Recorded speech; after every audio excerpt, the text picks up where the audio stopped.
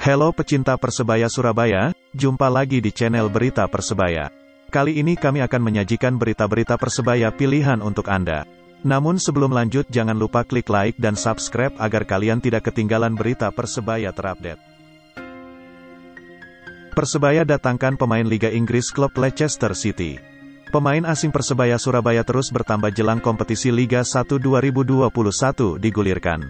Setelah Taisei Marukawa dan Jose Wilson, Kini Persebaya Surabaya segera kedatangan mantan pemain klub raksasa Liga Inggris, Leicester City. Dia adalah Alia Sesai yang berposisi sebagai bek tengah. Sebelumnya Persebaya Surabaya sudah resmi mengumumkan pemain asing pertamanya asal Jepang, Taisei Marukawa.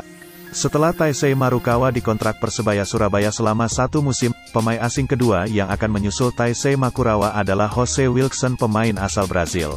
Namun Jose Wilson sekarang tengah menjalani karantina di Jakarta, sebelum nanti bergabung dengan Persebaya.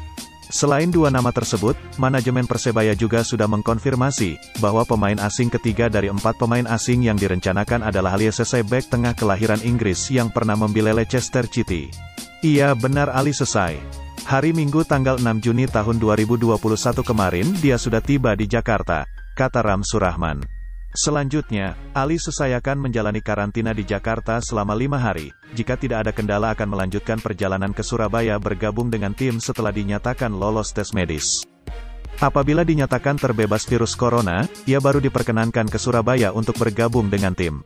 Sementara pemain asing keempat milik Persebaya, disebut Ram Surahman baru akan tiba di Indonesia minggu depan.